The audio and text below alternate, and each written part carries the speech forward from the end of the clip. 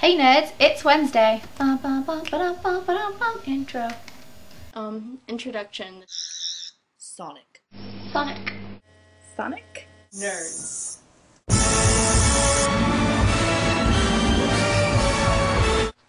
Maybe that should be our beginnings.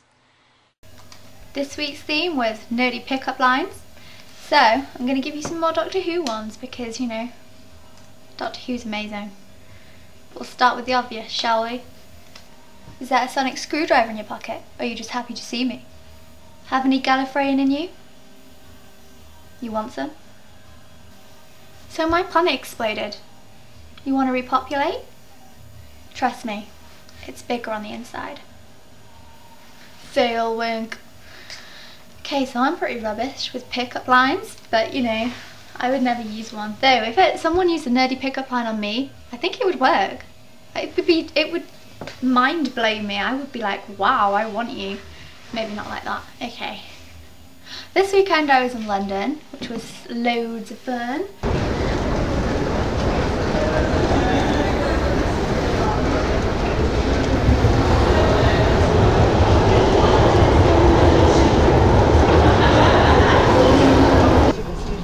And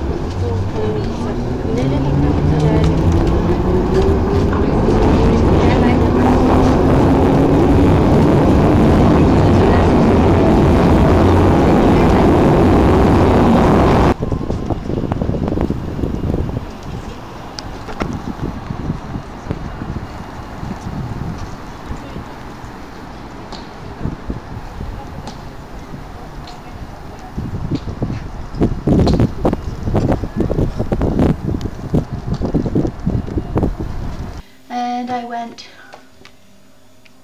see Wicked and that was awesome. It was a really good show. If you ever get a chance, go see it. Unless you don't like musicals.